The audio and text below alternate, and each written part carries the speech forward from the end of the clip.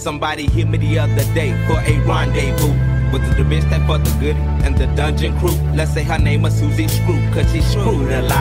Making a nigga hit that chunk at legitimate spots. Not no parks, back seats, or things of that nature. Had to hate your player. I'm digging the hole down, never said I paid her. Straight later, slayed the bitch like Darth Vader. Made her from College Park and Fed, all the way down to Decatur, like Jada. Her whip was sharp and sporty, that was shouty.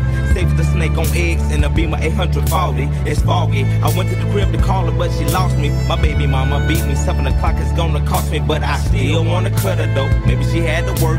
I called her in the mall, women a real tight skirt. She was fine as fuck. I wanted to sex the whole up. She said, let's hit the parking lot so I can sick your duck. I say, cool. I really wanted to cut you, but this'll do. I gotta pick up my daughter, plus my baby mama beat me too. She said she understood and everything was kosher. I gave her a little Will CD and a fucking poster. It's like that. Susie crew had a partner named. Sasha.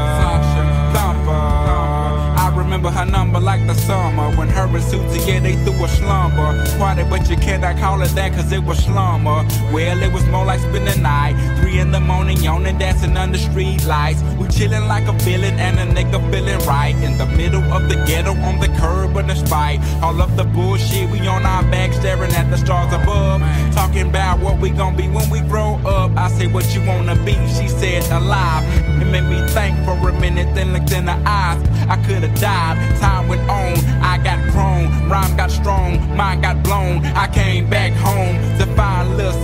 gone. Her mama said she would a nigga that be treating her wrong. I kept on singing my song and hoping at a show that I would one day see her standing in the front row. But two weeks later, she got found in the back of a school with a needle in her arm, baby, two months due.